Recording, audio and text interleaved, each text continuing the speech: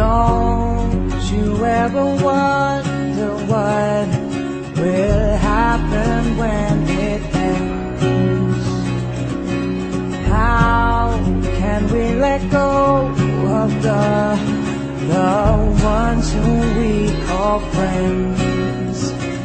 And I know it's only a story, but for so many it's more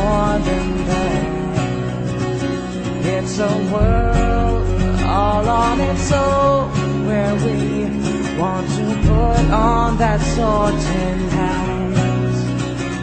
I will miss the train ride in and the pranks pulled by the twins.